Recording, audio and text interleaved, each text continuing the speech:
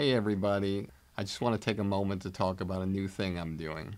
Over the years, many of you have reached out to me telling me how much you love the podcast, but also wish there were more personalized takeaways and more in depth interactions with our guests to hear what they think about comedy. This is why I'm now launching my new digital academy, Blueprint for Success. With exclusive interviews and comedy philosophies of stars and industry veterans, personalized versions of the industry standard podcast, commercial free, and one on one coaching time with me. Blueprint for Success will give you the powerful tools that will take you up the elevator beyond the competition and reach the highest possible levels to achieve your dreams. Whether it be stand up, sketch, improv, acting, writing, producing, directing, hosting, radio podcasting, social media influencing, or even if you want a career behind the scenes as a manager or an agent. Now I'm here to help, personally. We'll go on an express train of comedy and entertainment like nobody else has before. You can find out more about Blueprint for Success and the comedy business on my website at barrykatz.com. Together, we'll take your career where you want it to go. You are about to listen to an original episode of Industry Standard with Barry Katz. If you'd like more info on our schedule of upcoming shows, which will be available for download every Monday, or how to reach Barry through Twitter, Facebook, or email, go to barrykatz.com. After you finish the podcast, please take a moment to subscribe to it, leave a comment, and rate it, even if you think it sucks. Thank you for your support and enjoy the show.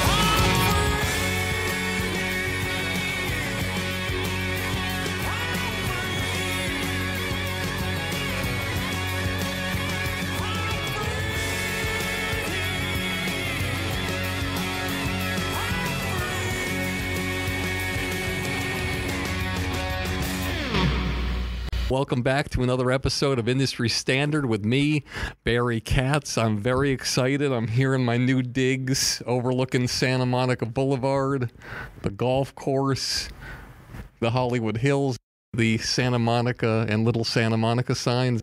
And I'm sitting here with Jeff Gaspin, and I'm really excited about it because, and, and, as you know me, I don't get excited about that many things, especially my voice is far from exciting. I said to him, it's my second podcast in this new space. And my first podcast here was Warren Littlefield. And now I get another man who was at the peak of NBC and has done so many things. As you know, I always look at my guest and I think to myself, what am I going to say? I never plan anything. I think I know where I'm going to go with this. But I first I want to say thank you so much everybody for, tuning into this podcast. This past week has been amazing. The ratings for the podcast have been in the top 30 and that's due to you and I appreciate your support. It's amazing. Nobody knows who I am or mostly a lot of people don't know who my guests are, but apparently there's something in here that means something and moves you and that's why I do this in my spare time and I, I love it. Also, uh, thank you for clicking on that Amazon banner on my website. That really helps the Jewish Boy College Fund. It doesn't cost you anymore, and it helps me and the boys. So thank you. Who got to meet Dennis Rodman the other day, which was shocking to see Dennis Rodman meet my kids and realize that is possibly my future. But anyway, I look at uh, Jeff Gaspin and I say to myself right now, and I got the opportunity to meet Jeff Gaspin for the first time in his offices in 2003 at NBC. And he had come from VH1. I believe he came back from VH1. He'd been at NBC before. And he was overseeing a lot of different things, but one of the things he was overseeing was alternative programming or non scripted programming and trying to make a difference on the network. I remember I had been out with Jay Mohr trying to sell a show about comedians and failed miserably at many different networks putting it together. And as odd as it was, this very unique thing happened where I don't even really know how it happened, but socially, Jay and I met up with a, a person who was at Peter Engel's company. And at the time, Peter Engel, who has done the podcast here and remains in one of the highest rated podcasts we have, was known for Saved by the Bell. He was known for all these shows, these kids shows that had very little edge. Uh, they were all scripted. They were Saturday morning type programs. And he just had something about him. He had an enthusiasm and he believed that he could get this done and help us sell the show. It was a fascinating thing because you can't possibly believe that somebody who has no link to anything having to do with any semblance of a show like this could do it. But oftentimes you meet with people, they're very convincing. The guy had six shows in syndication.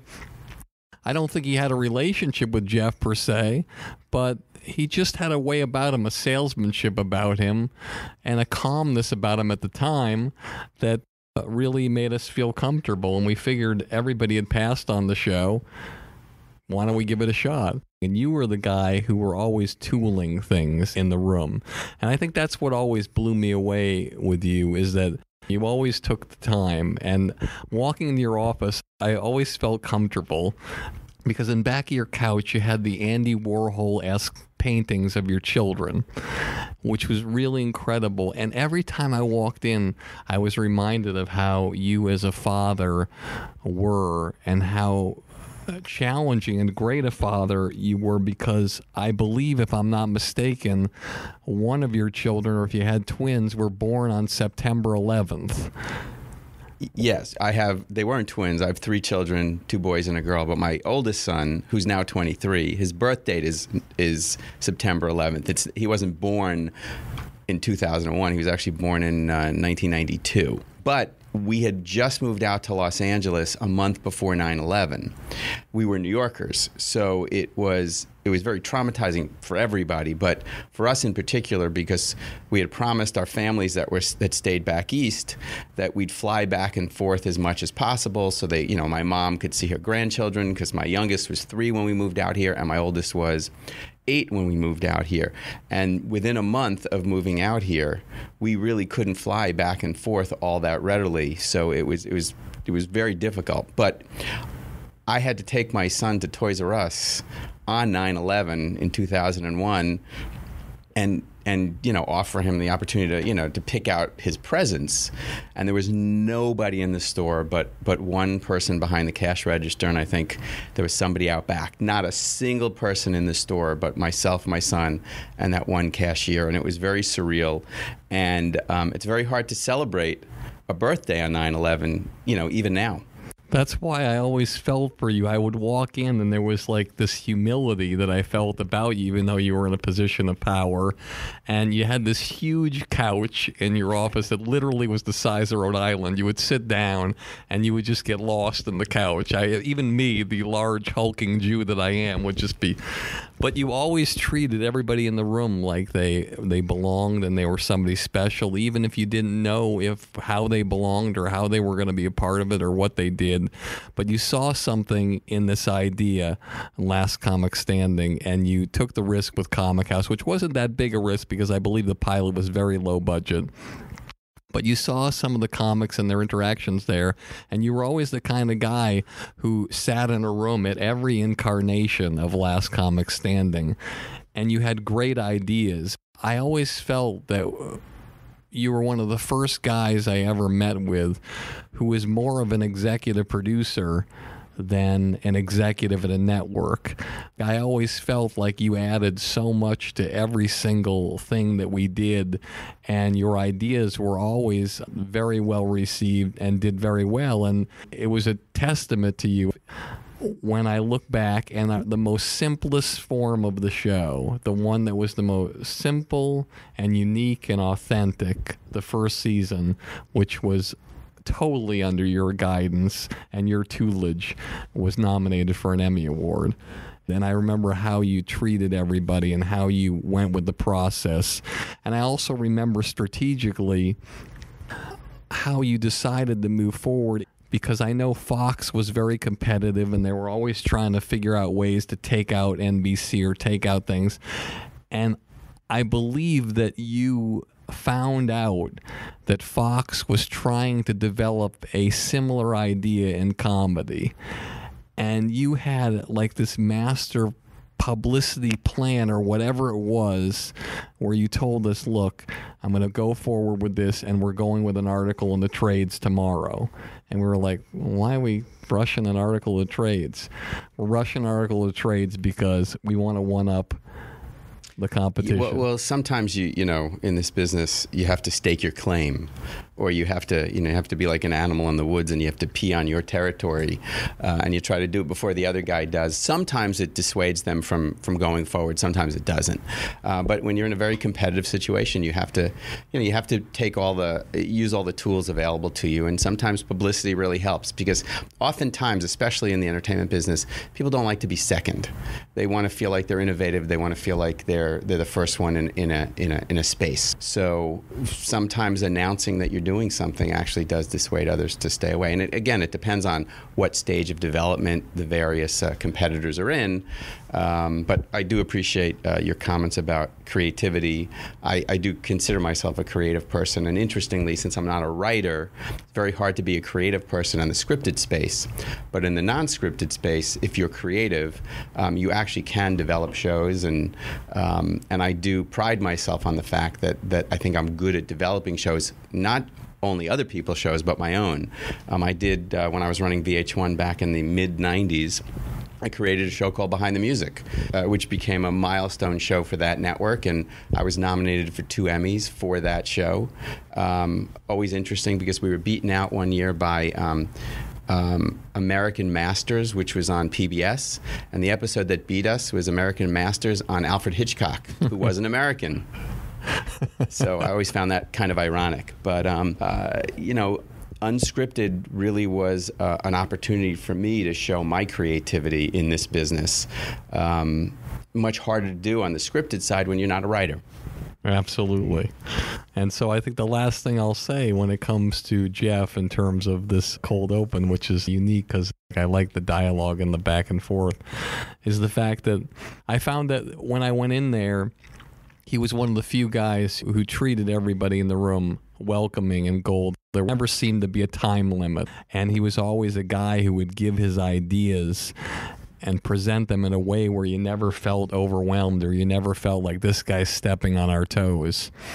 And then when it came right down to it, for all of us, when we were really into it, he was the kind of guy who let the people work and the artist work and he got out of the way at the times when he knew it was important to get out of the way. And I think that's one of the things that's really important for any executive or anybody in the business is to be able to figure out how to navigate in those spaces because egos are fragile and there's a lot of different people who have a lot of different agendas and they forget that y'all have the same common goal to win, to have a successful show, but everybody seems to want to have their fingerprints on things and everybody wants to seem more valuable than they are. And I thought it was great how Jeff was able to navigate with every personality and make them feel like a million bucks. So my feeling is is if you're listening to this is in anything you're doing, these are the qualities that are going to take you where you want to go. It's no coincidence once I read the bio of Jeff that you'll see all the things he's done. He does all these things, he's been involved in all these things because he knows how to navigate, he knows how to treat people with respect, he knows how to deal with different personalities, and he also knows the right time to get out of the way. And I can guarantee you, if you're doing any job in this world, if you can follow those mantras, I think you're going to be doing very, very well in your profession. Here we go in three, two. We ain't one at a time in here. We're mass communicating. This show will have laughter. I got everybody pregnant with Barry Katz and semen. Infections caused by jacuzzi water. I'm not comfortable with the tone this is taking. Okay, here we go. Is there anything else I should know? You're on. What? Now I'm the air! People on Twitter have been asking for Barry Katz to come back a lot. If you're undeniable, you will not be denied. If you want to be successful in show business, you get yourself a Jew white manager like Barry Katz. Here we go. You fucking firing me up, Katz. Being a manager is just turning no's into yeses. Undeniable. Creating holy shit moments. I love this man. Barry Katz. Back in the house. House. House. Let's do this. Hey, everybody. Let me remind you one more time about my new blueprint for success. It's a project I've spent months and months working on just to help you jumpstart your comedy career and beat the competition. Whether you want to do stand up, sketch, improv, acting, writing, producing, directing, radio, social media influencing, or even if you want a career behind the scenes as a manager or agent, Blueprint for Success will give you all the tools you need to take your career to the highest levels. With exclusive interviews, my top 50 commercial free episodes from Industry Standard, one on one coaching with me, and unprecedented access into my knowledge and experience from over 40 years in this crazy business. I guarantee you that with Blueprint for Success, you'll become the creator you've always dreamed of becoming. No one's asking me to do this. I want to do it because I want to help you become truly undeniable. So just go to barrykatz.com, click on Blueprint for Success, and start your incredible journey today. I truly can't wait to work with you to help you change the trajectory of your comedy career forever. Welcome back to another episode of Industry Standard with me, Barry Katz. Very excited. My guest today, Jeff Gaspin. This guy is a behemoth in the business, a 800 probably a 900 pound gorilla. He's done so many things. His bio was so long. Literally, Tolstoy would be looking at this saying, Yeah, this is a walk in the park here. But uh, I'm going to keep reading it and I'm going to go for it and try to relax, put your feet up, and then we'll go.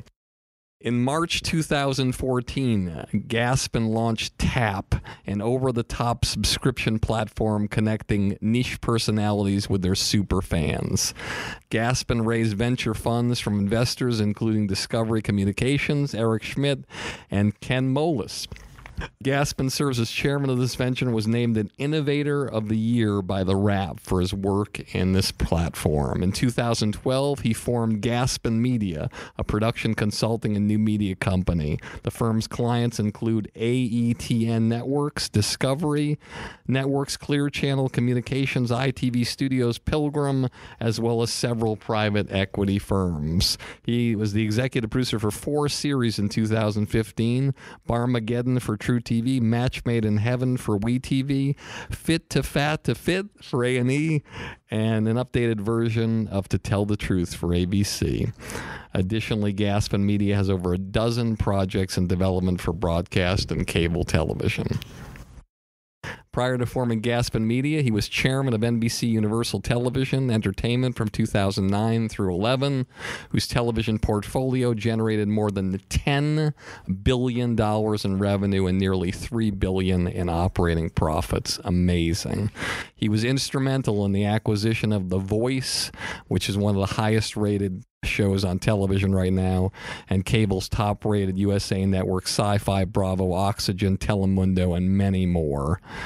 He was also involved in television production companies Universal Media Studios, which did House, 30 Rock, Law and Order, SVU, a Universal cable productions such as Psych, Royal Pains, and many, many more, including Access Hollywood, Deal or No Deal, and Maury.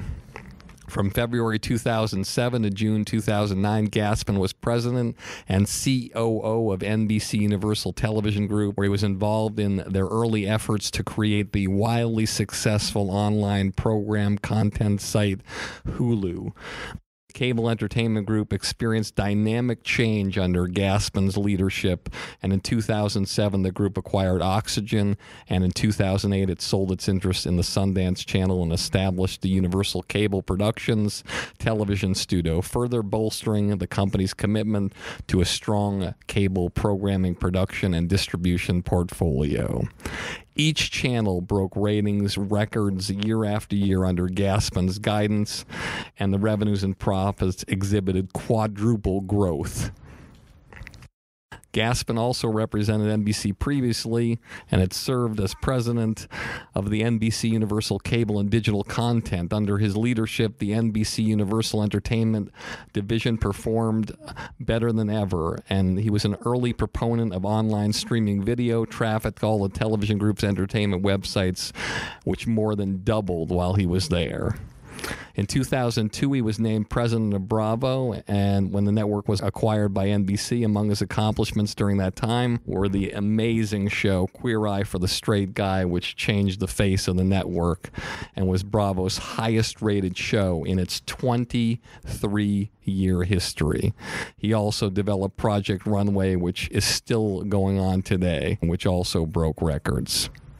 During his time at Bravo, he increased its subscription base from 68 million to 80 million and more than doubled the revenue and profits of the networks. Prior to his role at Bravo, he was executive vice president of alternative series long form specials at NBC, where he developed the hit NBC programs Deal or No Deal, The Apprentice, The Biggest Loser, and of course, what we talked about, Last Comic Standing. He made a name for himself at VH1 prior to this, serving as executive vice president of production and programming. And he created the acclaimed program, as he mentioned, Behind the Music, which was a staple for the network for years and was twice Emmy nominated for his work. He joined the channel in 1996, and VH1's ratings more than doubled, and its profits increased fivefold. You see a pattern, everybody? Under his watch, he also did Divas Live, the hit series pop up video, Rock and Roll Jeopardy Storytellers, and Before They Were Rock Stars. Before VH1, during his first stint at NBC, Gaspin helped develop and launch Dateline NBC and was responsible for the expansion franchise of The Today Show to seven days. He started his career in NBC in finance and served as director of financial planning for NBC News, overseeing the production and finance for Late Night with David Letterman and Saturday Live, as well as for NBC's TV station divisions. The Anti Defamation League at the Entertainment Industry Awards honored Gaspin with the 2010 Humanitarian Award, and Gaspin also received the GE Chairman's Overall Leadership Award in 2008 and the GE Leadership Award in the Imagination category for his work on Bravo NBC in 2003. He also served on the boards of the A&E television networks, the Paley Center for Media, the National Cable and Television Communications Association, and NBC Universal. A long bio, but let me tell you, everybody, can you believe all that this guy has done? Please welcome my guest. I'm very honored, Jeff Gaspin. Thank you, Barry. I think I need to trim that a little bit. You trimmed it. I Believe it or not, you already trimmed it a bit. I trimmed like half of it off, and it still was like uh, 17 minutes long. It's unbelievable. Can you believe that you've done all that stuff? uh, I- you know, some of it feels like yesterday, and some of it feels like it never happened. So, What feels like yesterday and what feels like never happened? oh, I still remember my my days at VH1, um, which were probably uh, the best years of my career. It was um, it was in the uh, mid '90s. I went. I was there from '96 to 2001, and um, I just. I just had a, you know an incredible time. It was my first real opportunity to head up a programming division for any network, cable or broadcast. Now, how do you get the gig when you don't have any experience really doing that? I was a finance guy for the first five years of my career, and then actually at NBC News, I had the opportunity to move into a more creative role. Um, I was the CFO of NBC News in um, it was around 1987, 1988, and. Um, one of the things we identified was in order for NBC News had, at the time had lost a lot of money, like $100 million a year. And what we realized is the only way to become profitable as a news division is to have a prime time show. And while 60 Minutes was hugely successful at CBS and ABC had 2020, NBC had not successfully developed a primetime show ever. And so we realized the only way we were going to become a profitable news division was if we could create a primetime network show. And so um, my boss at the time, who was uh, a mentor and a, and a wonderful, uh, wonderful guy named Michael Gartner, uh, said, "You're one of the few people. You're the only person," is what he said, in this news division that actually watches TV, that actually is trying to be a student of television, and I want you to move from finance to programming, and I want you to head up our programming department here at NBC News.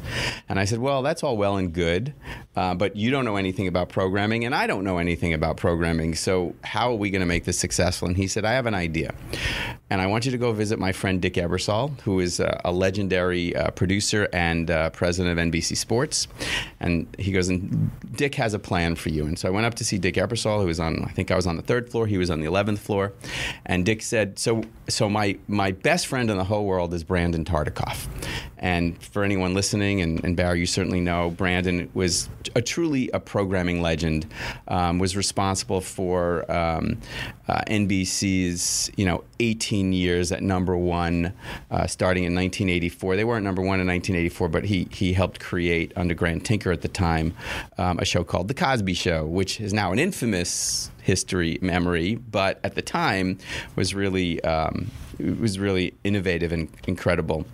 Anyway, Brandon um, was a legendary programmer, a legendary NBC programmer, and I was uh, living in New York at the time. NBC News was housed in New York, and uh, they put me on a plane and they said, "Go visit Brandon Tartikoff." And so I went to visit Brandon Tartikoff, and Brandon said, which which which you, you just have to understand. For at the time, I was think I was about 28 or 29 years old, and um, to meet Brandon Tartikoff, if you are interested in television, is like meeting the president if you're interested in politics or you just live in the country. And Brandon Um, was the youngest television president in history. truly a visionary and also a terrific guy. And, and Brandon said, Look, just stay out here with us for six months, um, be a fly on the wall, learn what we do as programmers. And so when you go back to your division in New York, you'll at least have some idea of how it works and what we do. And that's what I did. And I stayed out here. I stayed at the Oakwood Apartments um, in Burbank which is fairly famous because those apartments every year there's a pilot season which goes from like January 1st to May May 1st.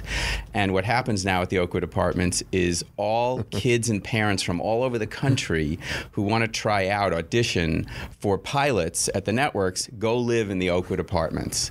And it, but back then it was actually like a home for Hell's Angels. So uh, it was an interesting place for me to live. But I lived there for six months, and I got to work with terrific people like Kevin Reilly, who has also become a legendary programmer.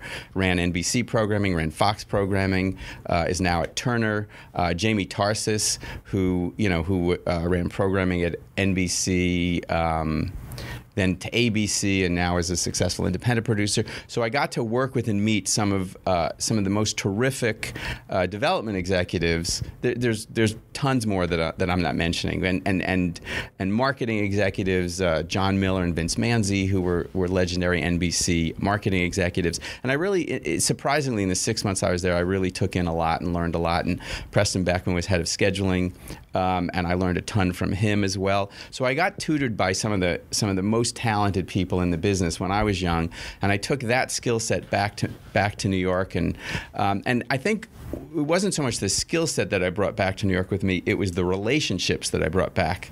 So when it was time to put a new news magazine on the air on NBC, which it actually wasn't Dateline at first, it was a show called uh, Real Life with Jane Pauley, and then another show called Expose.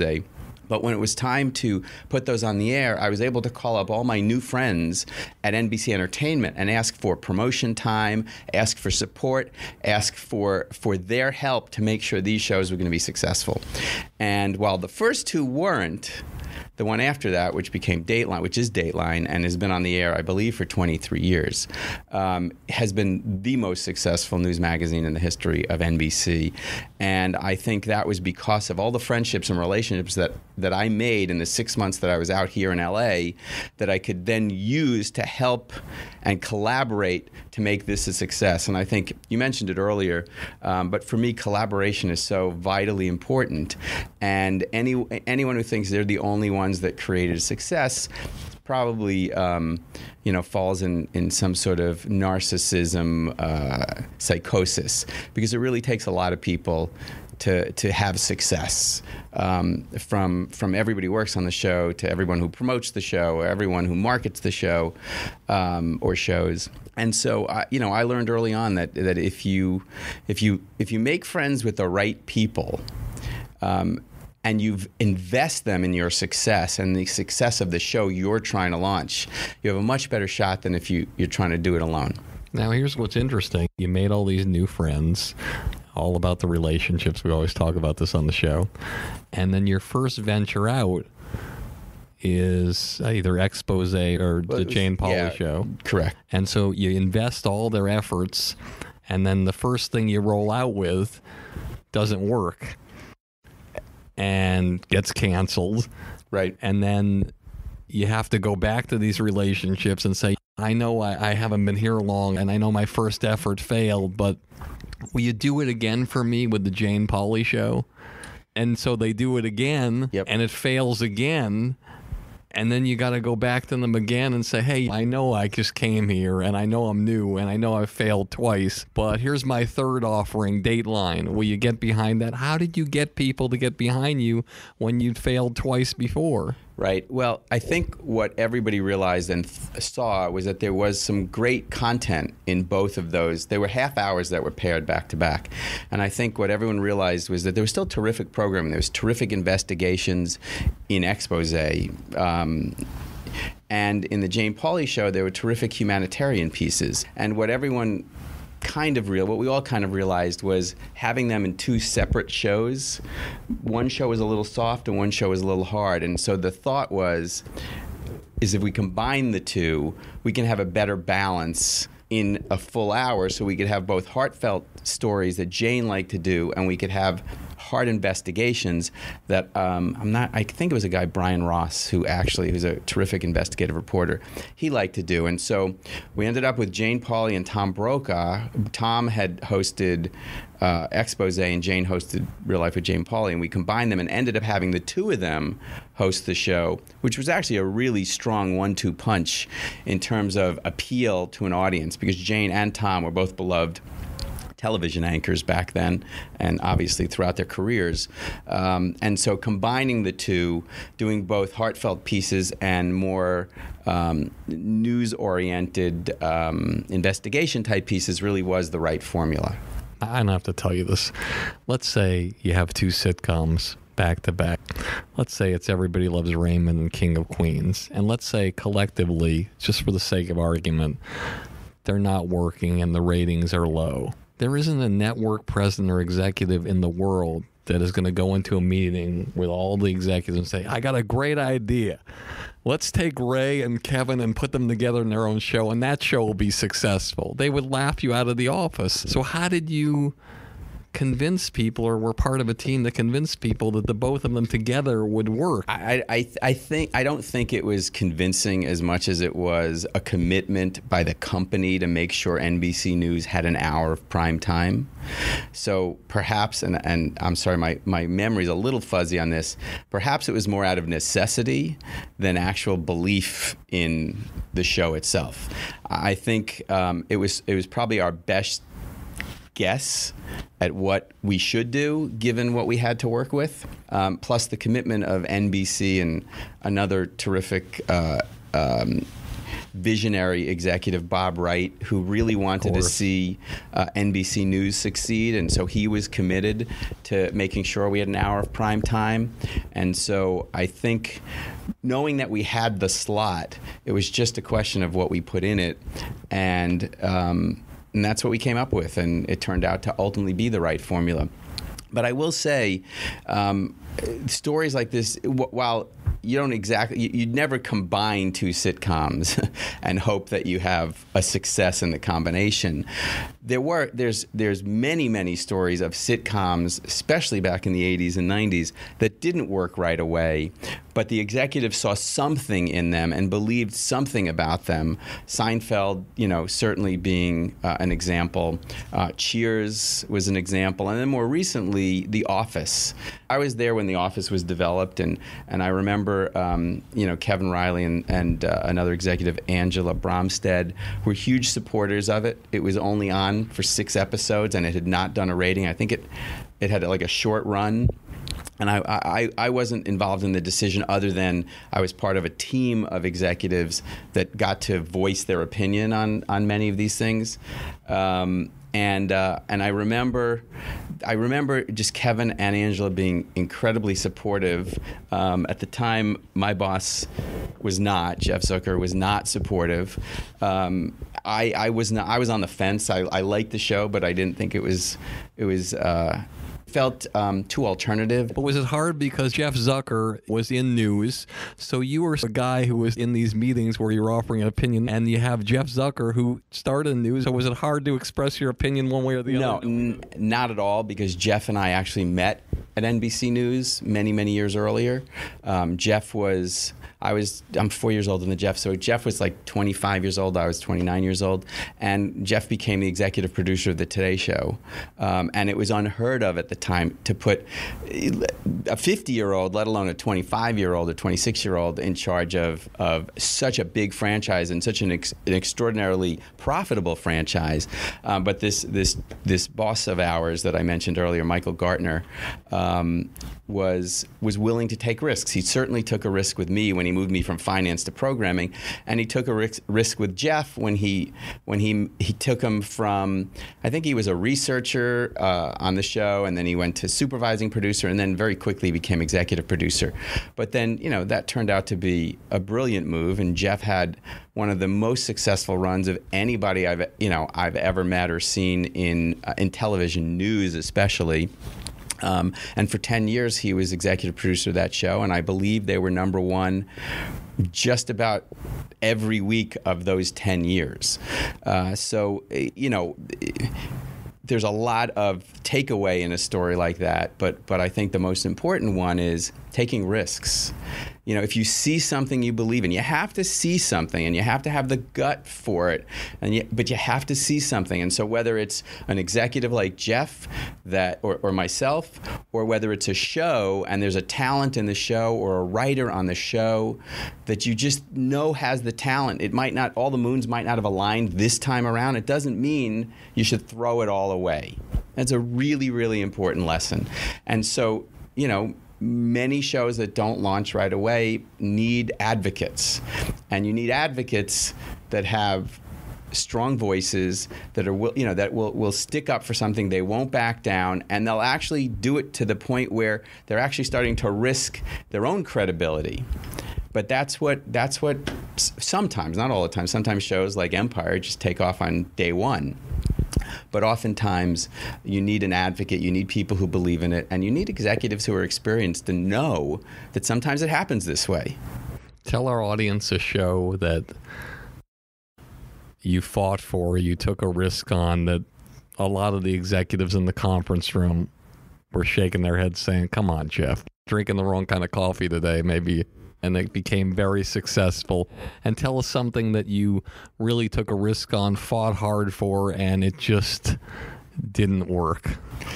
You know, I'm. f- I'll separate unscripted from scripted because it's a slightly different path. On the unscripted side, there really weren't a ton of shows that didn't succeed, especially early on in, in the unscripted world. I, I mean, I remember we did a show called Fear Factor, and um, Joe Rogan. there, yeah, there, there were not a lot of supporters of Fear Factor. It was gross, it was disgusting, which was all very true. Um, but it was there was nothing like it on television, and I remember the first time I screened it, I showed Jeff Zucker, who was the president of NBC Entertainment by then. He had moved from NBC News to NBC Entertainment. I showed it to him, and we were literally watching it and screaming like two grown men were screaming out loud to the point where anyone who was walking by Jeff's office started to come in to see what was going on. Why are these two two grown men screaming like little girls? And everyone would walk in and they'd look at this TV set, and there were probably spiders crawling on somebody's head or cockroaches. And everybody started screaming. And, and you know, well, it just had such a we got such a visceral reaction out of it we you know we like just go for it we're just going to go for it and um, and obviously that became uh, i think it ran for nine years and was incredibly successful but as i think about it the show that not so much the show but but the title of the show that was the most controversial in my career was a show called queer eye for the straight guy And Queer Eye for the Straight Guy was was actually a terrific show, and anybody who watched it re- thought it was a terrific show. But they hate most people hated the title. Um, ad sales was afraid of the title. They thought that advertisers would stay away from a show with the word queer in it. Um, Queer is queer was somewhat derogatory ba- back in back then. it- 2004, wasn't it like 2005. close to the N word. I, I would say, yeah, it was kind of a Q word, but not necessarily as bad as the N word. But, um, but, but. Um, the producers were, were gay and, and they weren't offended and, and, and so what I did was, and I, I, I called our PR guy and and um, I said, what you know, how should we handle this? What do you think we should do? And they suggested, well, let's call GLAAD. Let's call GLAAD and see what they think. Let's see if, you know, if they're gonna are they gonna come out and support the show because because it was a groundbreaking show in that you never saw a show on the air at that time like that. Um, five gay leads. I can't think of a show before it or, or even after it that was like that. And um, it was, you know, such a groundbreaking show for the producers um, at the time. And um, and the producers and, and, and the network contacted GLAAD, and GLAAD came back and said, you know, interestingly, the gay community was trying to make queer an acceptable term and it was actually part you know it, at the time it was something that they didn't want it to be an offensive term. They wanted it, to be a term of endearment. Like it didn't it didn't have to have the negative connotation. And so they were very supportive. And as a result you know we decided we're keeping this title. Um, it also the the title itself was a you know it created curiosity which i think is really important and when you're trying to launch a show. And it was controversial and you know and and so we went with it and it turned out to be, you know, the, the right move because that show uh, became the highest uh, rated show in Bravo's 23 year history. It helped brand the network. It helped give Bravo a kickstart, and and Bravo at the time was making about 50 million dollars a year. Um, and I believe Bravo today probably makes over $500 million a year. So it was a terrific start, um, and it and it started to give us a brand for Bravo, which was innovative, create you know things you've never seen before, and um, it's always great when when a show like that, you know, surprises everybody and becomes not just a hit, but a cultural phenomenon. I'm looking at the patterns with you a little bit here, and if you notice, NBC, no experience at all. You come in and you start working on things that you admit, you know, I have no idea. I'm just going with my gut.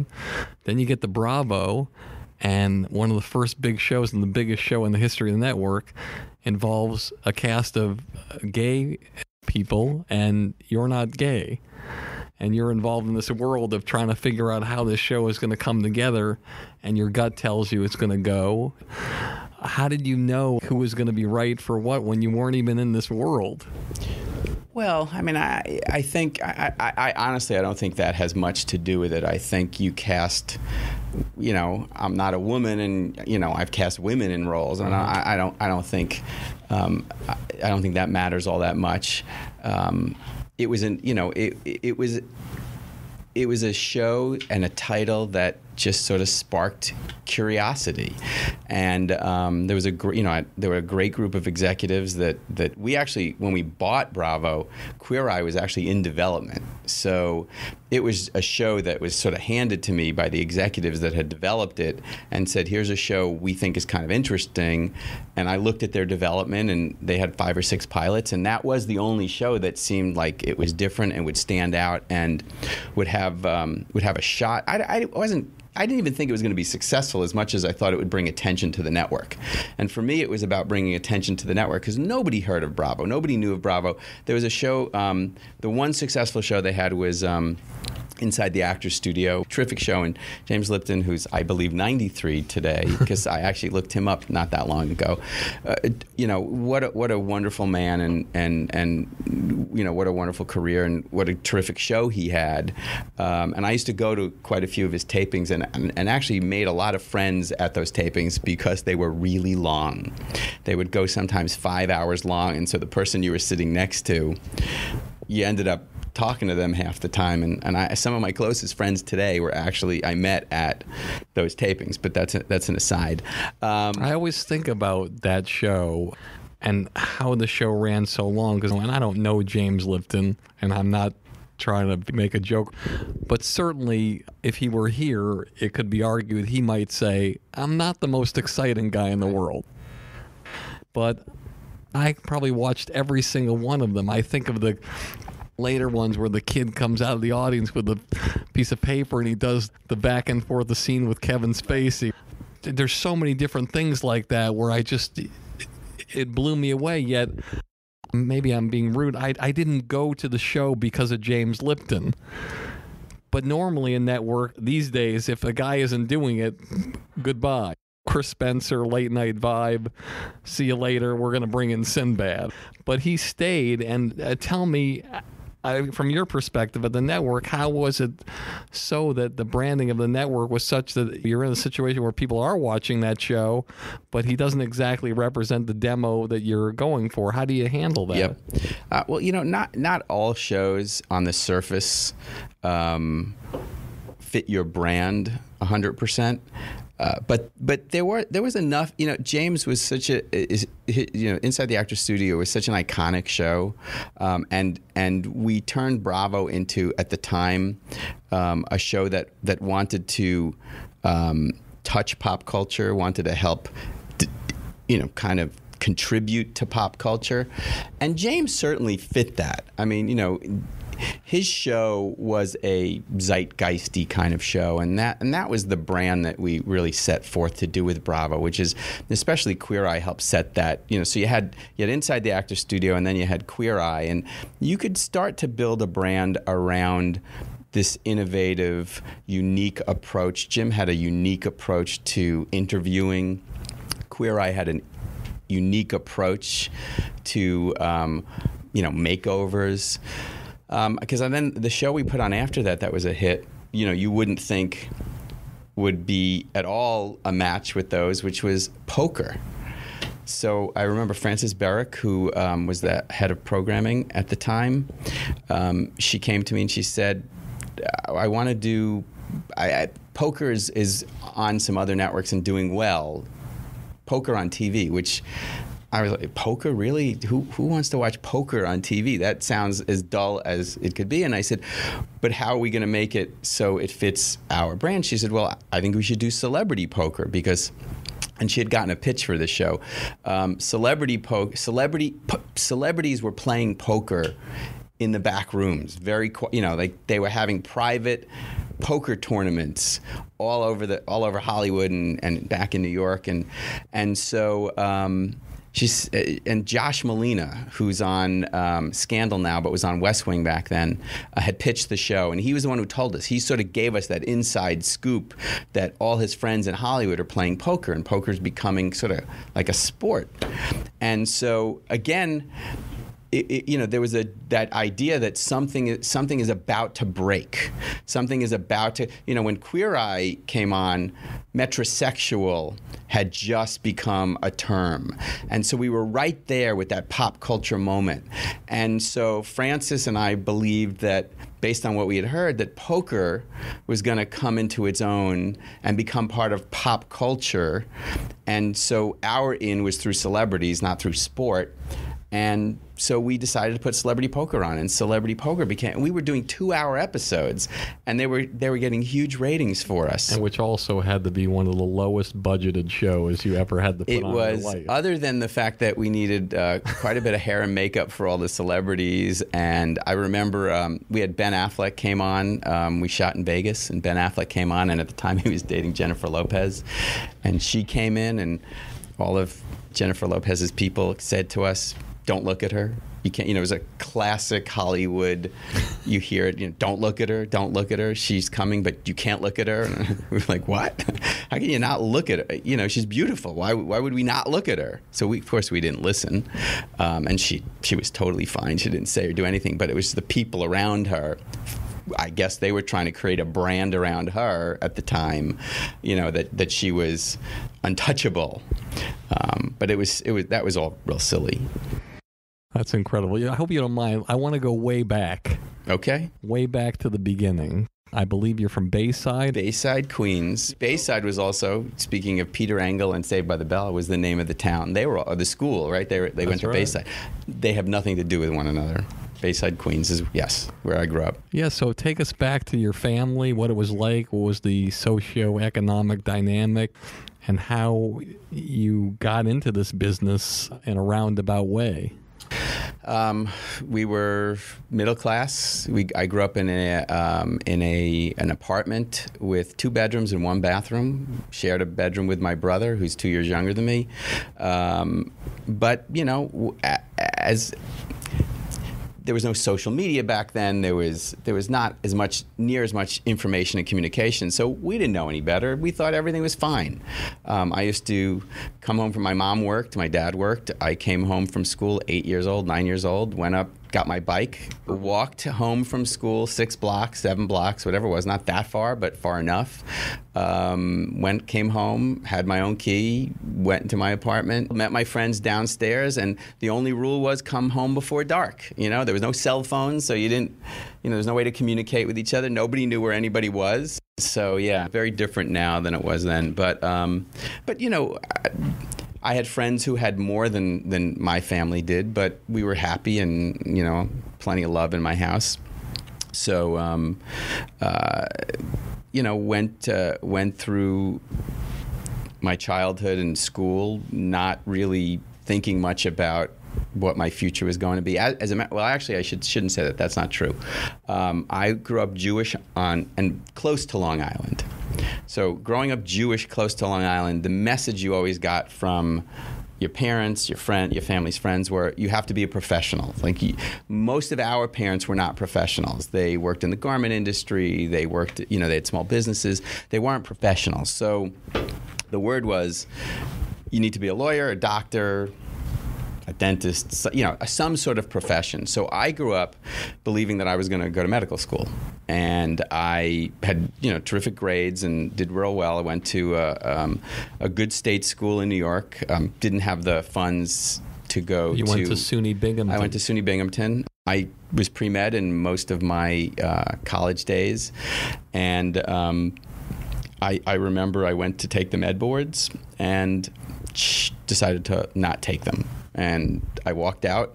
I went in the morning and didn't go into the school and just turned around and decided I didn't want to be a doctor. So you'd studied for hours and Hours hours and and, hours. hours, and you just walk in and you just say, "Fuck it." I I I didn't say fuck it at the time. I just I just said, you know what? I kind of don't like blood and phlegm. And I think blood and phlegm are pervasive in the medical profession. And so I just thought about that and said, I can't do this. I just can't do it. And so I left and I was, you know, I was panicked. I didn't know what I was going to do. How'd my- you tell your family? um, at the time, you're taking me back, but at the time, my grandfather was dying of cancer, and so my family was kind of preoccupied with that. And that was actually that was actually a real motivating reason why I realized I couldn't be a doctor because I would go visit him at the hospital and get very ill, just just walking on the floor. And i realized that i did not have the stomach to be a doctor. And that was i just wanted to be a doctor because i wanted to make enough money so i could just move to the next socioeconomic class. And that's the wrong reason to do that and and I, I think many people choose the wrong reasons to do a lot of things in their lives certainly in their careers and that was probably the first time in my my life that I realized that I was um, I was doing something for the for the wrong reason, really wrong reason. Um, so I just I just there was a good business school at. Um, at uh, at Binghamton, and I just I kind of transferred to the business school at that point. I'd already had enough um, uh, enough credits in my major, uh, which was um, a science major, which was I think psychology. Um, and so I moved to the business school when I had I had another year and a half left of school, and I took 24 credits, which allowed you to have a business minor. Uh, and then I went to MBA school right.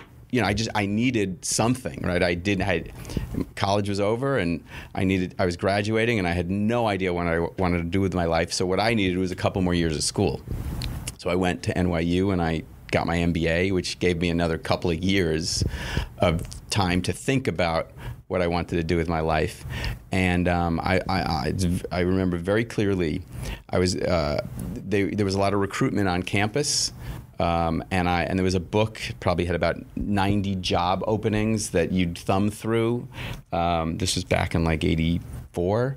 Um, you'd thumb through, and there was a there was a, a, a, job recruitment for NBC's finance program, and I looked at that, and you know there was also for accounting firms and for insurance firms and consulting firms and Wall Street firms, but there was NBC, and I was like NBC, wow, like I could go work at NBC. I watched a ton of TV. I was definitely a you know I grew up watching an endless amount of television as much as I could get at the time. I mean, obviously, it's nothing compared to what you can get now. But back then, I watched on the th- mostly on the three networks. I watched just about everything that they put on.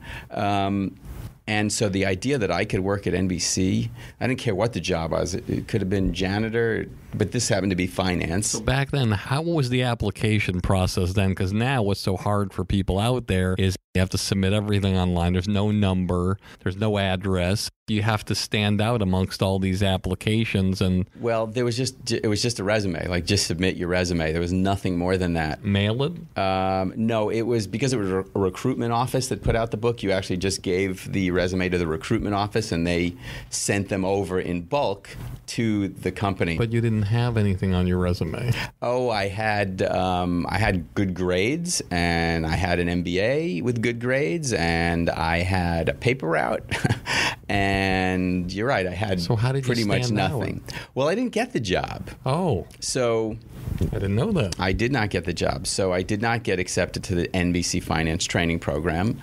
and this was probably I probably found out May or June when I was graduating, and I spent two months sitting at home. I didn't apply for a job, nothing, because I didn't know what I wanted to do. And um, two months later, the phone rings, and it's NBC. And they said, um, you know, we had gotten your resume during, you know, when we were recru- recruiting for um, for finance. Um, another job has come up in planning and pricing in the stations division. Would you be interested? Now remember, I'm sitting at home. I'm I have not sent out a resume in two months. I'm just probably watching TV, and I was like, you know, when would you like me to be there?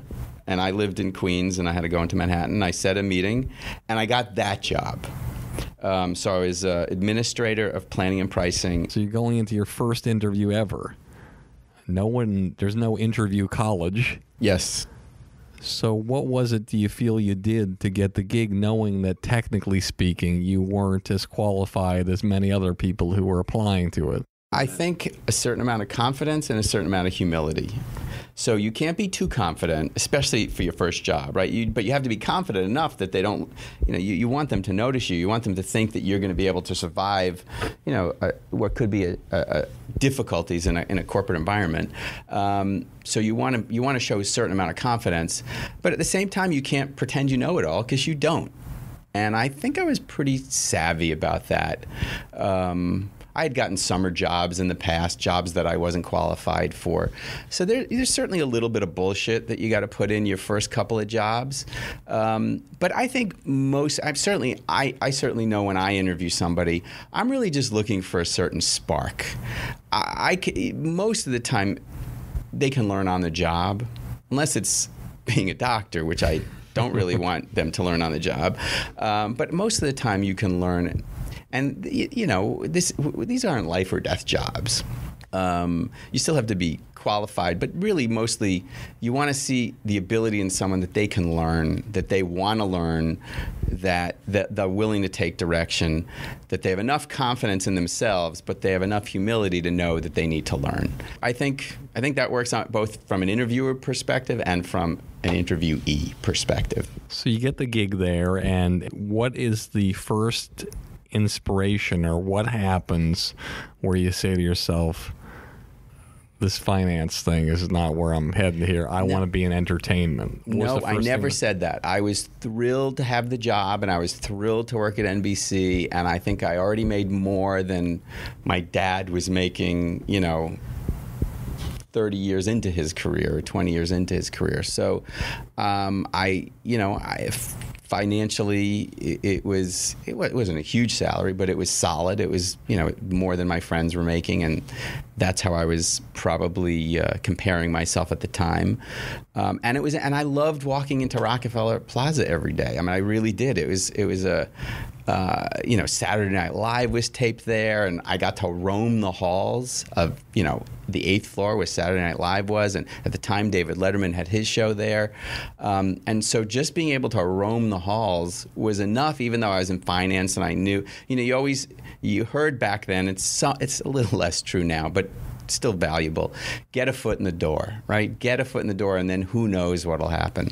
And I ended up having a really incredible trajectory on the finance side for five years. I went from being an administrator of planning and pricing in the TV station division. And five years later, I was basically the CFO of NBC News.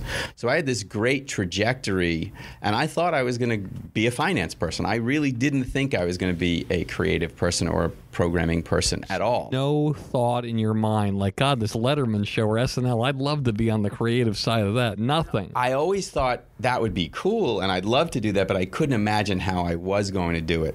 Now, I did have a couple of stints in production finance. So I was doing you know, I was doing the finance of the, t- you know, of some of these shows, Letterman and and Another World was a soap opera, and then I had touches of creative opportunities. So there was a big um, a big uh, NABET strike back in 19 I think it was 1987, and I was at NB- I was at NBC Entertainment in the finance group at the time, and so. We all had NABET. We were all given NABET jobs to cover the strike. So my Explain job. what a NABET job is. NABET for is a yeah. audience. NABET uh, is the union for technical um, uh, personnel. So cameramen, uh, control room operators were part of the NABET union, and there was a strike, and the strike lasted for I think about four months. But anyway, my job was to be technical director (TD) for Another World out in um, it was out in Brooklyn at the time but the technical director sat next to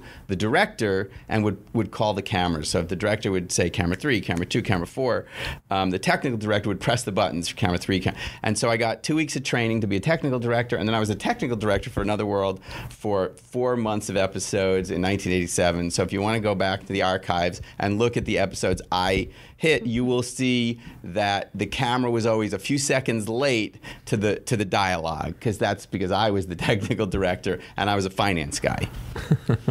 uh, but Another pattern of you doing something that you had no experience Yes, doing. Yes, and I remember I had to do. Um, there was one in the script, uh, and it was um, I started the, first, the same day Anne Heche started. She was 17 years old, and she was a terrific actress. But I remember starting. I just remember that girl at the time because I had to do a a dissolve a, a, a ghost coming out of her body which is a little more complicated than just pressing a button when the director announces a camera. And so I had to really figure out how it was. You ultimately do it with a dissolve by by pressing two camera buttons at once and then dissolving between them. One camera which is on a record. Sorry, you record one where she's sitting up, and then anyway, I guess it doesn't really matter how it's done, but I figured it out, and I was so excited and proud, and that I did it. And then the director looked at me, and the director was actually a guy named Don Scardino, who's actually a very successful, famous director Uh-huh, now. yeah. Terrific, terrific. What a wonderful guy. And he just looked at me and said, that wasn't very good. and so I did it like three or four times, and we, we ended up get. But anyway, that's where I said, wow, you know, this is so much cooler than finance. Like, I would love to figure out that was probably my first inkling that finance was not really where I wanted to be. But um, but then I went back to my finance job. The strike ended. I went back to my finance job, and then I ended up moving to news finance. And what happened in news finance is I was the manager of news finance. I had a director above me and a vice president above me, and the vice president was the CFO. And she reported to the president. Um, a new guy came in, Michael Gartner. He replaced uh, a guy named Larry Grossman. Michael came in. For some, uh, and then what happened was you asked also where was the creativity or whatever, and um, So NBC had a, a a writers program, a writers contest where you could write something and you could submit it. And so I wrote a script for Family Ties, and I submitted it. You wrote a script. I wrote a script for Family Ties just out of the blue. I wrote a script, and I submitted it, and I came in third place. And there were 44 entries that year. Third place, you know, I was a finance guy. I never wrote anything in my life, so the fact that I got third place and the winner got to meet Brandon Tartikoff. Now I wasn't the winner, so I didn't get to meet Brandon Tar- Tartikoff, but it was a life-changing moment. So there's a newsletter at NBC, and in the newsletter is printed the three winners of the contest. So it was the first two, and then me. I don't remember the first two, but I remember me. And um, but it was also the same week that the new president, of, or, or was this the new president of NBC had started, and his picture was on the cover of the newsletter that that week. And I walked into the elevator one day holding the newsletter, and in walks Michael Gartner, the new president. And he's a you know he's a, a short man with a bow tie and you know but very recognizable. And he looked at me and he said, "Are you holding that because I'm on the cover?" And I said, Well, actually, no, sir. I'm holding it because I'm inside. and he said, What do you mean you're inside? And he and he and I said, Well, I submitted. I I'm a. I submitted something for a, to a writing contest and I came in third place. And he goes, Oh, what do you do? And I said, Well, actually, I work for you. I work in finance for you. And he goes, Wait, you work in finance for me and you wrote, Come with me. And he, I leave the elevator with him and I follow him to his office. And Michael was a writer. Michael actually was a Pulitzer Prize winning.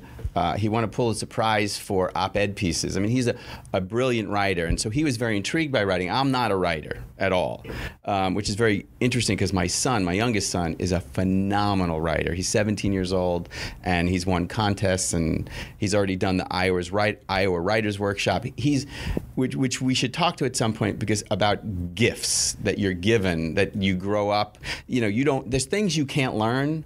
There's things that are definitely part of who you are, and I think. I, I would attribute some of that to my success, and certainly skills like writing and singing and art are given skills that you can learn and make better, but you're given a base. I think I was given a skill a, a creative skill that is very hard to identify that has allowed me to be successful. But we can get back to that anyway. This is what's so amazing uh, for the audience. I always talk about fate.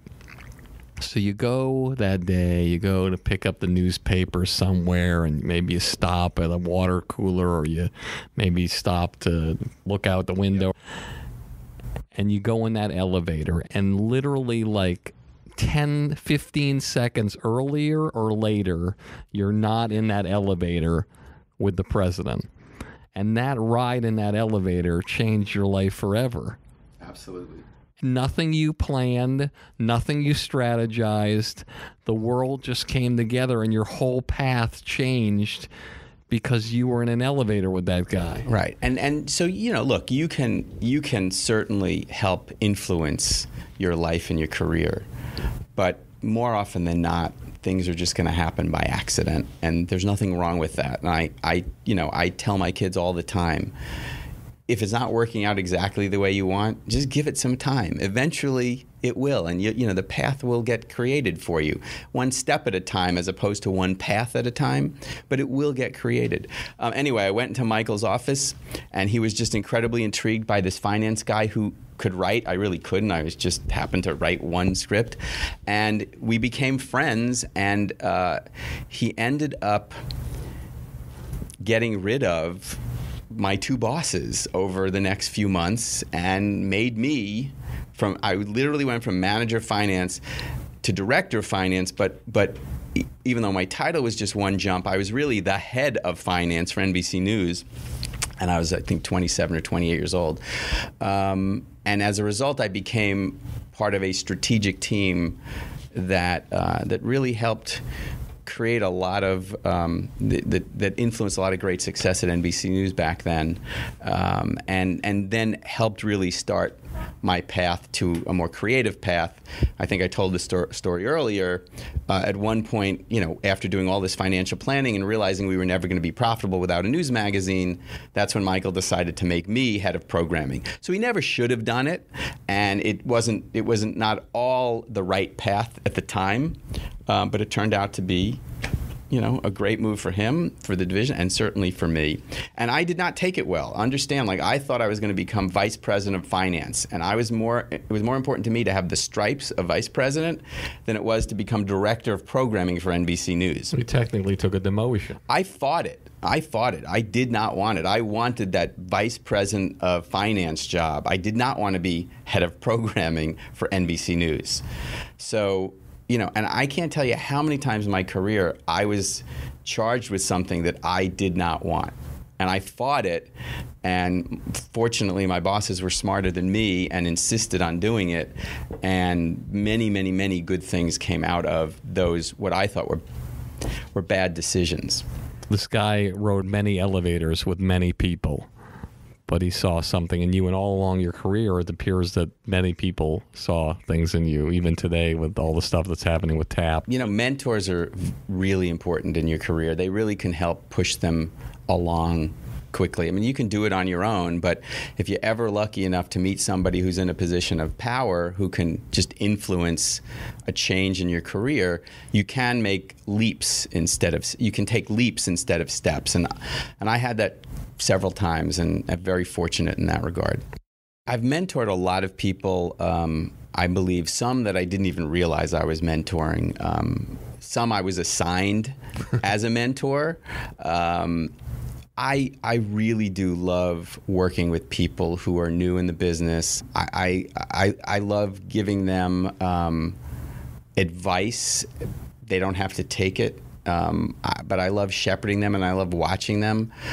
There are many, many people who worked at MTV Networks when I was at VH1, which was you know which is part of the MTV Networks. Which I was going to ask you, like, because that was some of your proudest moments, but you left NBC to go to VH1 when things were going well for you at NBC. Why Yeah. would you leave NBC when everything was going great and go to VH1, which was a place that obviously was a step down from Yes. NBC? What was the point of that in your mind? Well, I got fired. One of the few guys who got fired and brought back. Yes, because I, I wasn't fired because of my performance. I was fired. I, I learned a very, very valuable lesson about corporate America.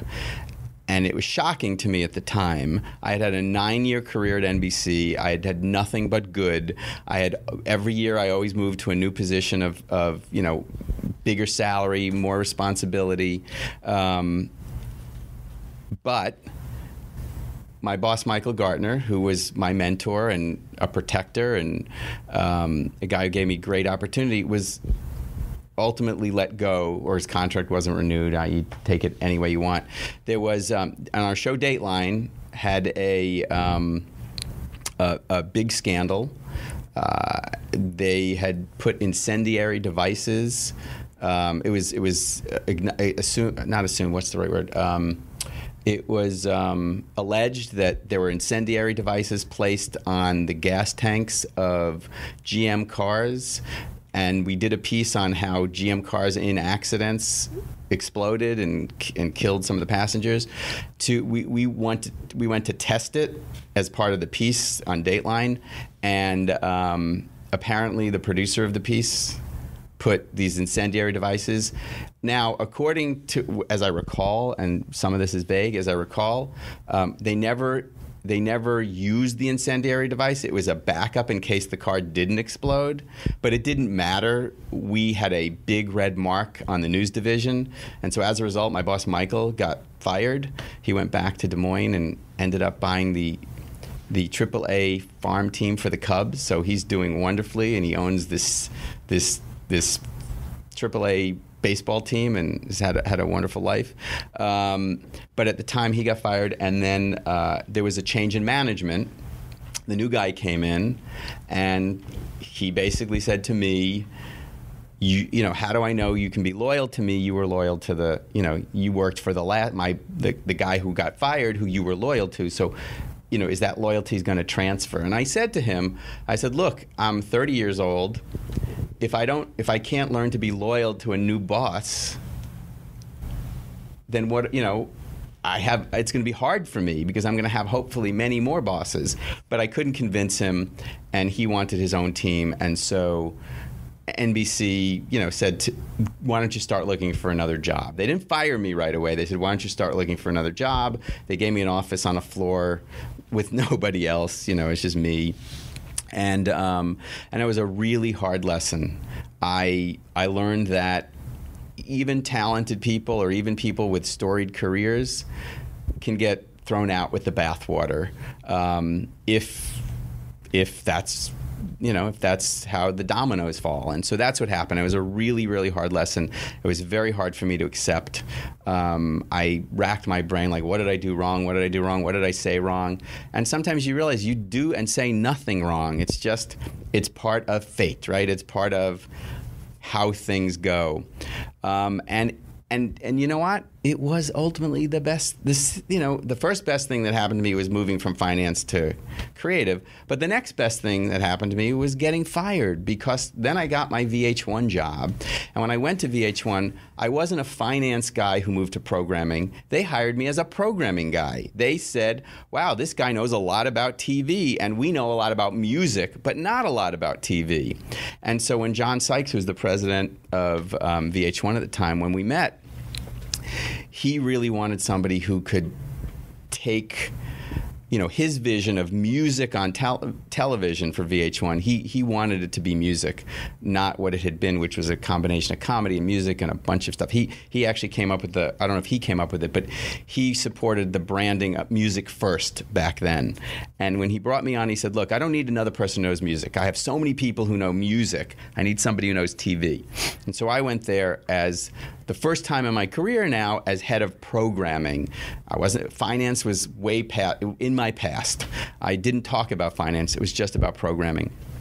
And like I mentioned earlier about Queer Eye, I got lucky there because there was a show called Pop Up Video in development. And so I looked at pop up video, and honestly, my only contribution to that show was slow it down and make them bigger because I couldn't read it. Um, but pop up video went on the air uh, probably two months after I started there and was a big success.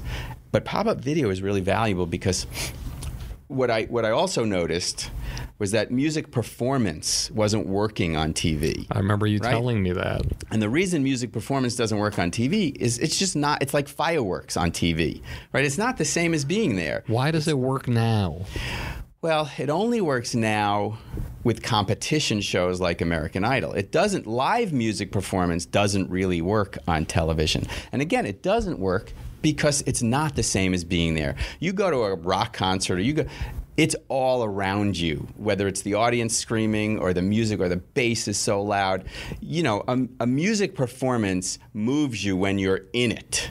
Um, but when you translate it to TV, it's just not that interesting. It's small. It's, but where it does work, or what we realized you know when we saw with pop-up video, pop-up video was the stories behind the video. We also had a show called Storytellers, which was the stories behind the song. So, what was the next best thing to do? How about the stories behind the music, right? The story, which was the original name for behind the music, was the stories behind the music. It just was a long name, so eventually we shortened it to behind the music. But that was a great way to take music and translate it to TV because you were telling the story of the band. And the nice thing about music and bands and musical artists is they very rarely have quiet lives, right? They're, they live on the edge. And so their stories were great and traumatic and huge swings up and down. And so, you know, we, we came up with a show called Stories Behind the Music and became a huge success. Um, I worked with uh, a great a great producer named Gay Rosenthal, who I called and said, "Gay, I have this idea for a show," and and I said, "And the sto- first story I want to do is Milli Vanilli." And she said, "All right, let me let me see what I can find out." For those of you who don't know, Milli Vanilli was two guys who had big hits, but then they found out that they weren't singing the hits. Other people. lip syncing, which is actually a big hit now on Spike. But back then, it wasn't considered acceptable, and so they they you know they had this great rise and this great fall, and so behind the music, you know, was this story of rise and fall, and then more often than not, the rise again, or the the show itself provided an opportunity for rise again. And um, Gay called me up. I remember two weeks after I'd mentioned her, and she said, "I found them, and they're coming to my house for a barbecue," and um, and so that started uh, behind the music, and then another another great producer, George Moll, joined in and. Um, we had at one point about 250 people working on that show, and it became a huge, not just a huge success, but a brand builder for that network. And and and wh- why I always tell people VH1 was the best five years of my life and my career because you know, we just had this this storied five year run from a no a, a no a, a network that nobody gave a shit about to a network that people emulated and and um, it actually got me attention from people I had worked with before, from Kevin Reilly, who I remember called me up and said, you know, I have an opportunity to go to cable. There's a channel called FX. What do you think? And I said, go, because in cable, you can actually make a difference in broadcast is really hard. Like it takes a long time, but in cable, one show, you put one show on the air, like everyone's going to be talking about you. And he ultimately went there. Not he put on more than one show, but I remember he did the Shield and then he did Nip, Nip Tuck, and and that vaulted him from, you know, the the the average development executive to the terrific development executive. And so Absolutely. the same thing sort of happened to me with Behind the Music. So I'd be remiss if I don't talk about what I thought you would say was the greatest job of all time was when you were basically running everything at NBC Universal and I mean almost every single facet of the game. So here you are, you're in an elevator with a guy it Right. seems like yesterday. Seems and like now you're you've navigated through you've been fired they bring you back. How often does somebody bring somebody back who's fired? And then you're in charge of everything and you have to make decisions to fire people like you were fired and you have to bring on people and do whatever. Can you talk a little bit about that and how there's so many arrows and so many people trying to take you down and take you out and I want to know how you handled that pressure and how you dealt with it and how you got to that level. Did you think it was possible to get that gig? Um, I, you know, at some point you realize you're on a you're on a path, you're on a trajectory, and you're you're you know, behind the music was the second time in my career that I actually put a hit show on the air, and so I felt like if you could do, you know, once could be an accident. Twice could be an accident, but if if it happens again, then maybe it's not an accident. And so certainly when I was running Bra- Bravo and we put Queer Eye on the air, which was kind of the third time in my career that I had a huge hit. Three, I, I'd had one at NBC News, um, I had one at VH1, more than one hit, but one huge hit, and then I had it at Bravo, and I had it at NBC too with Biggest Loser and Last Comic and Apprentice. And um, once you you know once you you have done it multiple times, you really start. Not only do you build a reputation, but you do build a certain amount of confidence. And so I, I was confident and am confident even today that I can recognize a good show, that I can create a good show, a hit show, not just a good show, but a hit show. Actually, I would say it's more about a hit show than a good show. If you're lucky, they're also good, but there are a lot of hit shows that aren't so good. But I think I'm pretty good at recognizing what could be a hit show. Um, that is my gift. That is, you know, somehow that whatever little gene in me that that allows me to do that I was given that and then just honed it over the years of my career. By the time I became chairman of NBC Universal Television and had 16 networks, including NBC, Telemundo, USA Sci Fi Bravo, that was a culmination of my entire career. I couldn't have done that job 10 years earlier or 15 years earlier. But when I got it, I had done almost all the jobs along the way. I had done finance jobs, I had done development jobs, I had done digital media jobs. So I had so much experience, 25 years of experience, maybe maybe 23 years of experience at the time, that that was just that job was just a culmination of all of that. And I still didn't do everything right. I still was learning on the job, but I had enough confidence and enough experience. And frankly, and this is really important in your career, I had more experience than most of the people who worked for me. So when I told them something, I had credibility. When I opened my mouth, people believed what I had to say oftentimes, and it certainly happened to me at certain times in my career, you get into jobs that you're not qualified for. And so when you say something, you kind of misstep and people catch it and people know. And they don't want to listen to you when they don't think you know. And I've certainly had bosses, I've had people in my career, in my life, that I did not think knew either as much as I did or or in some cases less than I did, that it was very hard for me to listen to them. But by the time I had that job, there wasn't anything that I felt people knew more or better than I did. And when they did, I usually recognized it and listened to them. I worked for Barry Diller for one year in my career. In between NBC and, and VH1, I actually had a little stint working for Barry. I think he had just left Fox Network and he bought QVC, and he really had this vision for what turned out to be, you know, what Amazon does, which is buying. He used to say, "Buy underwear in your underwear." So shopping from home, and that was his his vision. So he anyway he I worked with him and.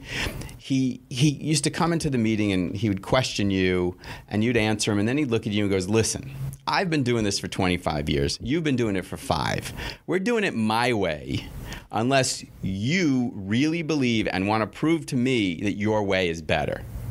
And that was a really important lesson because he was right. He had 25 years experience. Most of us in the room had 5 years experience.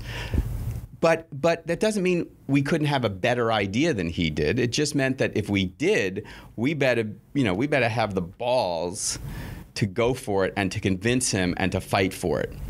And so I took that in my career, and I and you know many you'll talk to many people who have met me over the years, and and they said that I was tough. Like I I questioned them. I and I only did it when I felt like I knew more than they did, and so I questioned them to see if they had the strength to, to fight me on my point. And, and when they did, I often, and still do, often let that executive or producer or whomever do what what they think is right. And I do this with my kids. I mean, my kids come, I've been there. I know more than they do.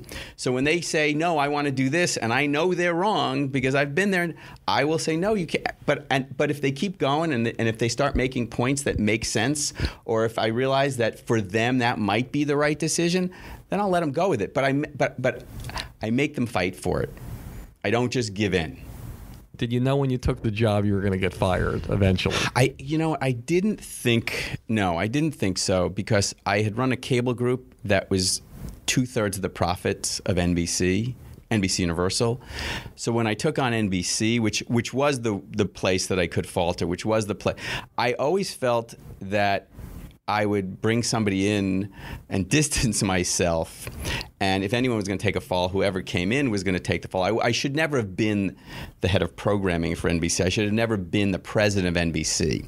But it was so screwed up by the time I took it that I really wanted to understand what the problem was. And I felt the only way for me to learn what the problem was was to be it and to do it. And so I, I, I I acquiesced most of my other responsibilities and focused on NBC. I spent probably 70% of my time focusing on NBC. And then, um, and, and we actually, I stabilized it. I didn't turn it around, I stabilized it. I might have had success. It's hard to tell. I mean, the last show I bought before I left was a show called The Voice.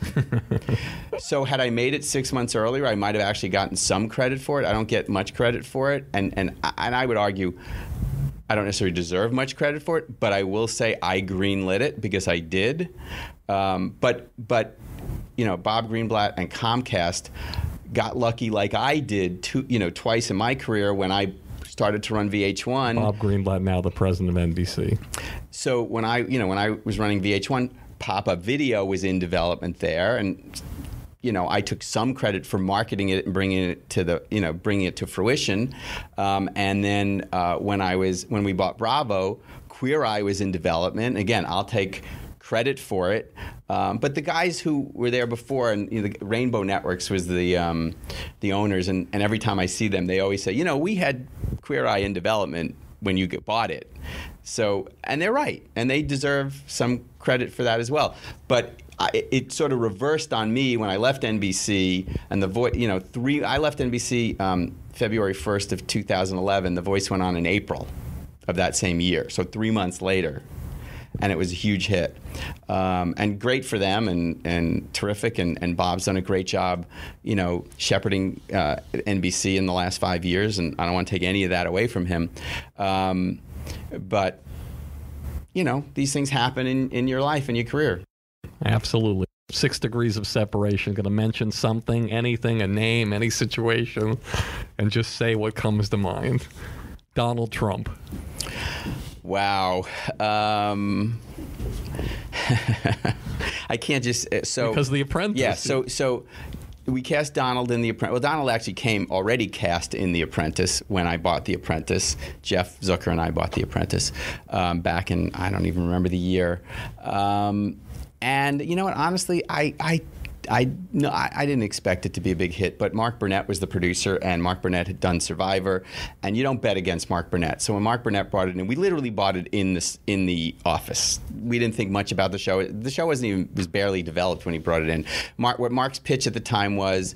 Um, um, Survivor in the biggest jungle of all, Manhattan and that was all we needed. And Donald Trump's going to be the whatever. It didn't even matter. And um, and then you know that became a huge, huge. I think that's where that started. Became a huge success. And um, and Donald, you know, Donald was. Um, a very easy guy to work with. He was um, he listened. He always showed up on time. I mean, he has a terrific work ethic. He really does. I'm not condoning some of the things he says or ha- has said, but his work ethic was terrific, and he was um, very, very respectful of certainly me, everybody I worked with, and everybody on that show. Um, I, you know, I'm a little surprised he's gone as far as he's gone. I certainly didn't expect it. um, but I think he's pointing to, you know, certain things in our country right now that that we've we've um, quieted, we've you know we've held back, we've we've suppressed, and he's given certain people, 25% of the population, the ability to sort of say, yeah, you haven't heard from us in the last five years or so. Um, so it, I, I, I continue to to watch like everybody else in amazement. Lorne Michaels.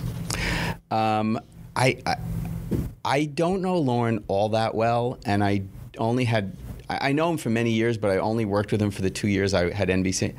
There's not a person I miss more at, from NBC than than Lorne Michaels he, you know, 25 years into my career, he taught me, even in the, the short amount of time we worked together, so much.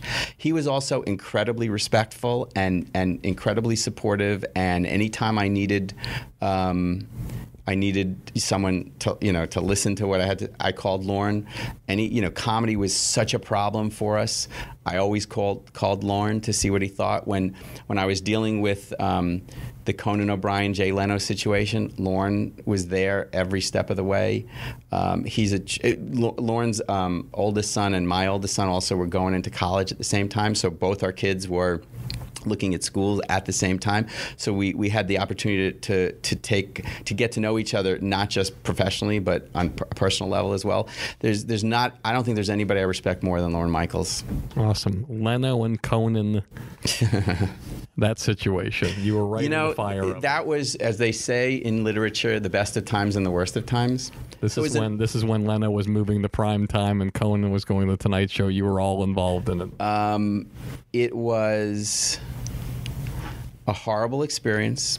I had three weeks of sleepless nights, but at the same time, probably the most exhilarating experience of my career for all the wrong reasons. Um, but I was, you know, I was in the news every day. What we were doing was in the news every day. That doesn't happen a lot in your lifetime, and, and nor do you want it to, especially for an infamous reason. But, but it was very exhilarating, and, um, and I don't think I ever want it to happen again, but you know, I'm not sorry it happened. I, I do think I, I made quite a few mistakes back then. That that was as much as I thought I was ready for a job like that. You can't necessarily be ready for something. Uh, you know, social media had really just started to influence what was going on, and and I remember waking up one morning with 6,500 emails. 6,500. Um, yeah, I mean, shut down the servers at GE, and it was, you know, it was, uh, it was, it was a mess, and probably a, a story for another podcast. We can, I, I'll be happy to share all the problem. details. And I have a smile on my face before I ask you uh, the famous bathroom. Thank you for asking that. Um, because you're famous for the people, you know, what happens to executives, they get budgets to renovate their offices and do whatever they want to do. And it's a great thing. You have that advantage. And it always fascinated me about that story because you elected to do something with and make a special bathroom. Right. So, um, you know, it's interesting. It's one of those things in your life where you kind of suspect this could haunt you so- at some point, but you decide to do it anyway. The bathroom was not two hundred thousand dollars. The bathroom was about fifty thousand. It was an office suite that they they they helped build. Um, it had a conference room, it had an office, and it had a bathroom, and that was about two hundred thousand dollars, which was a lot of money. But but in all honesty, I had a new six-year cr- contract that was worth a lot more than two hundred thousand dollars. So it was a fraction of that contract. I was very lucky and grateful that that You I was looked at all the money you made for the company. yeah, you know, I had made billions of dollars for the company, but it wasn't. It really was not. It was not that I just wanted a bathroom. Well, I shouldn't say that. I did want a bathroom. I want, but there was an office three floors above me or four floors that had a bathroom, and I said, I just want to move up there. And they said, No, we want you to be on the floor with your executives. We'll build you, you know, we'll build you a bathroom.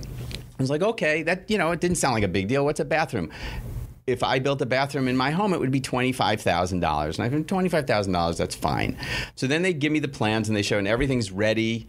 And they, sh- you know, and I and I look at the bathroom, and, and, and I'll give you if you if you don't believe me, I'll give you the name of an executive who I ran into their office right after I looked at the plans and said, "You can't believe how big this bathroom is that they want to build for me." And when I said to them, "I don't want such a big bathroom. I just want a toilet," they said, they said it has to be handicap capable. Oh. So it has to be a certain width and and then they said and we want to put a shower in because you know, you're not going to be the only person who house is housed in this office. So the other offices that we're talking about have showers. And I said, "Well, I don't need a shower. I've never showered here. I'm never going to shower here." And they said, "We're just going to put it in." so they built a bathroom handicap capable with a shower. So it was probably half the size of the conference room we're sitting in. So it's a pretty big bathroom. And somebody on the floor, uh, somebody who pretended to like me but clearly didn't. um, they, you know, I, I, I suspect it was someone in finance, but there's also someone else I suspect, but I never found out who called the press. That like the day I was leaving NBC, I'd been fired by NBC because new. Steve This is another story because you know another change in management. A, a new company came in, Comcast company, and people I respect greatly. But you know, as Lorne Michael said to me, this is you know another Lorne Michael. Um, uh, point. He said, Jeff, when someone buys your house, they change the furniture.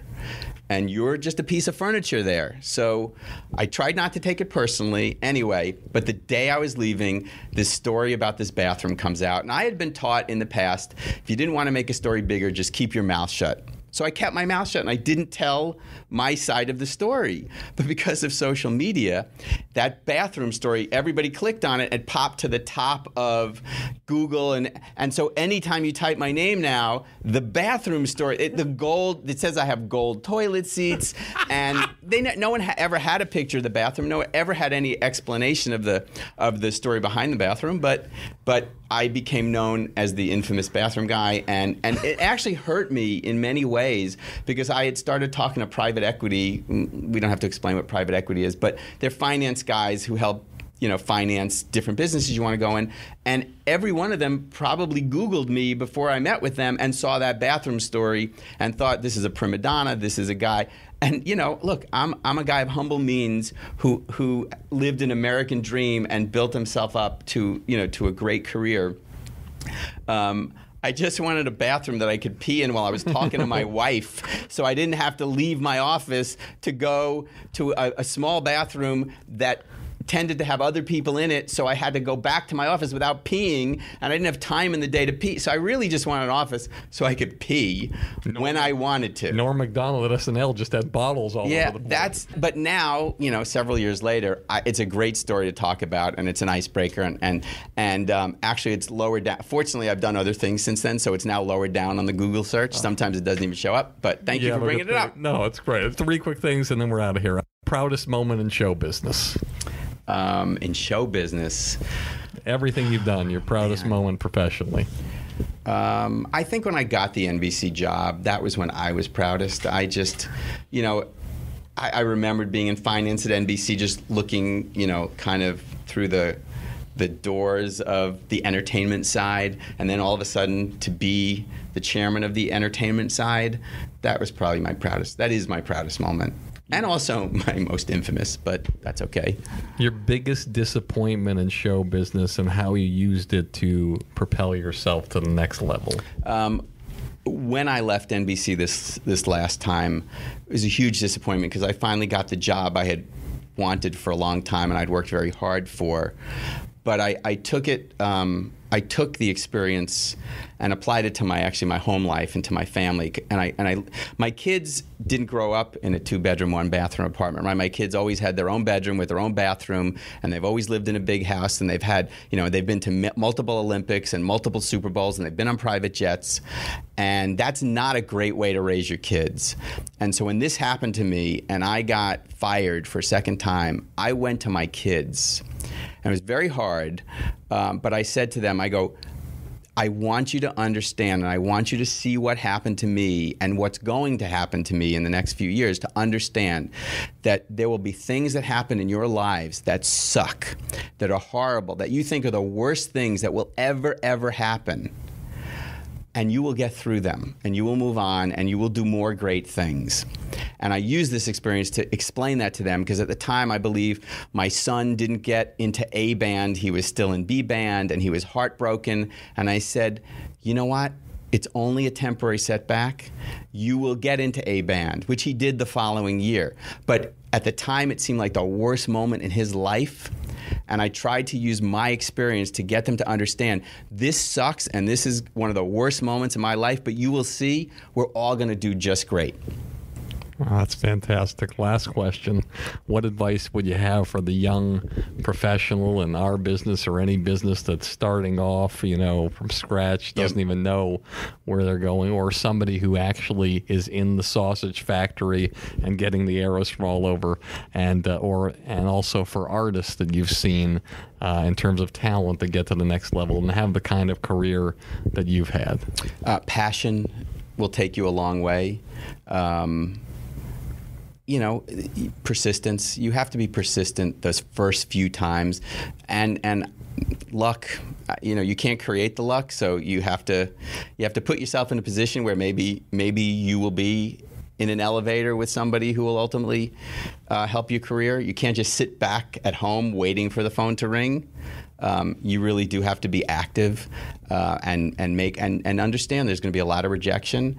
Uh, sometimes you have to take jobs that you feel are beneath you. Give it a chance. Give it some time. The, the, the best advice I can give, and I, I give it to my son, who calls me every you know every once in a while and says, "I'm not happy. I want to do something else." And I go, "If you keep going back to start, you'll never finish."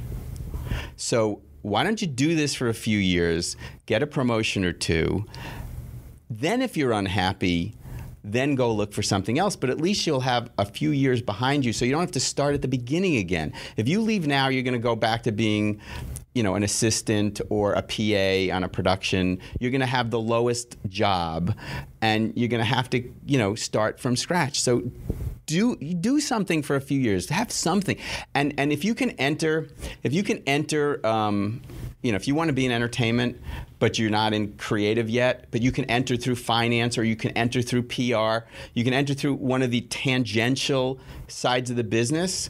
That's fine too. You don't have to start, you know, exactly where you want to be. You can you can get to the same place, slightly, you know, a, you know, a different route. Mean, if you know, I'm, my son actually works in PR, and I say to him that you know, PR is a great entry point for entertainment. And if you look at, I think there are more studio heads right now that started in PR than any other function, any other functionality. Dana Walden over at Fox, David Stapf over at CBS, Plepler at who runs HBO. They all started in PR. So you don't have to start in development if you want to be in development. You don't have to all start in creative if you want to be in creative. But I will suggest you do something for a few years so you can understand what it's like to progress. Don't keep trying to go back to start. Jeff Gaspin, fantastic, unbelievable. Thank you so much. You're amazing. And as always, this is industry standard. And if you like the show, tell all your friends. And if you don't like the show, tell all your friends.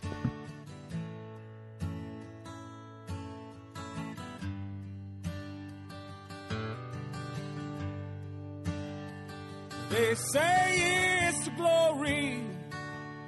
I'll scream your name put you on shoulders, walk you to fame. You get all the money, drive that fancy car. All the people love you, cause you're going far. Life is for the dreamers. They have all to gain. It's never quite over till it all feels the same. You pick your own poison, dig your own grave down in the valley. A fortunate.